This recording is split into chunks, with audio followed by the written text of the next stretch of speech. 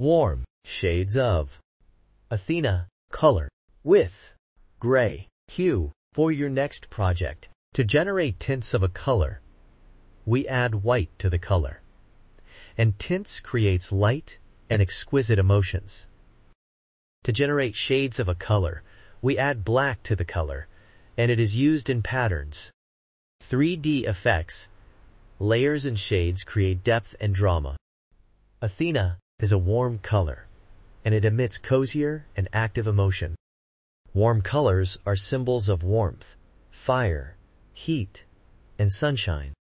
It also evokes joy, passion, love, and even anger emotions. You can see them used in restaurants and gyms.